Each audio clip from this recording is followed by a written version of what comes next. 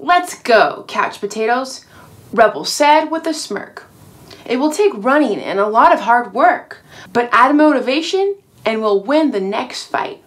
Bongo grunted and pouted, but knew they were right. Today on Storytime, we're going to be reading The Candy Calamity by Brave Books and Zuby. The deserted desert was a hot, empty place, a hideout for pirates, this wide open space. A gorilla named Bongo walked holding his tummy, aching and longing for anything yummy.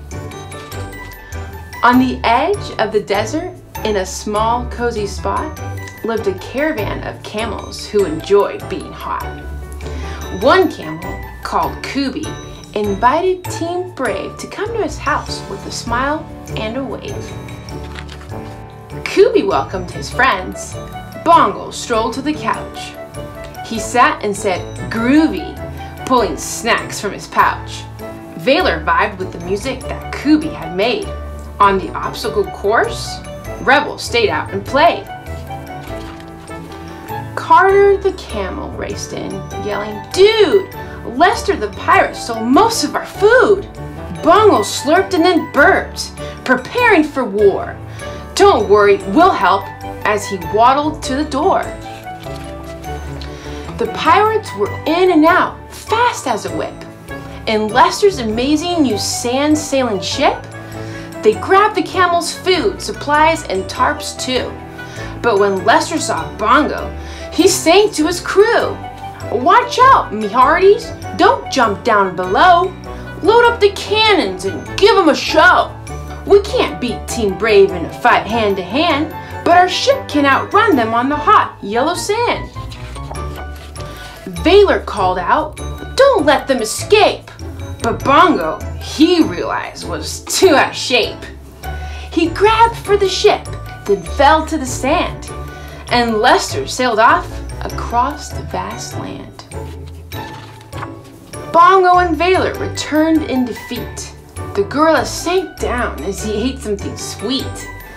Valor was tired and his fur was all sandy. Bongo just sat there, nom nom nom, eating his candy. What did I miss? Rebel asked with a frown. Valor said, Pirates attacked this small town. Lester stole half the town's food and supplies. Bongo mumbled through treats. We did our best, guys. No, we've been lazy, Valor said with conviction. We cannot win fights with a candy addiction. They counted on us, and we let them all down.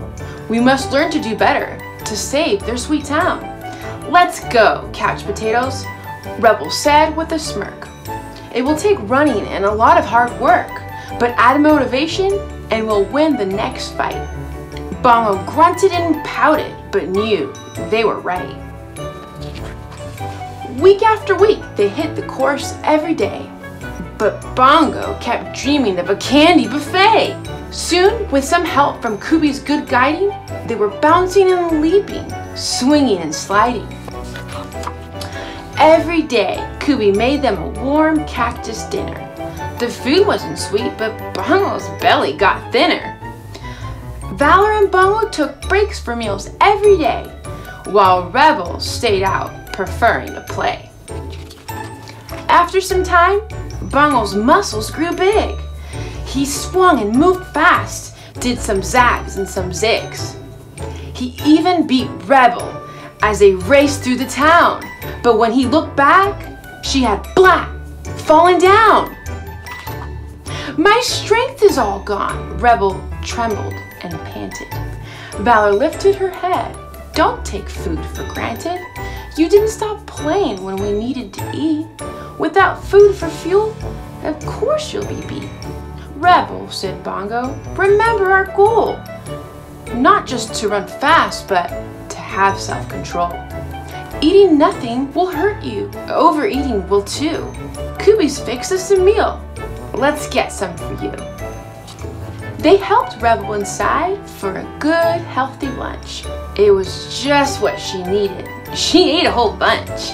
They then heard the beat of an odd little tune, the drum of a pirate ship crossing the dune. Bongo let loose a laugh. I'm ready this time. Lester needs a good whooping for his piratey crime.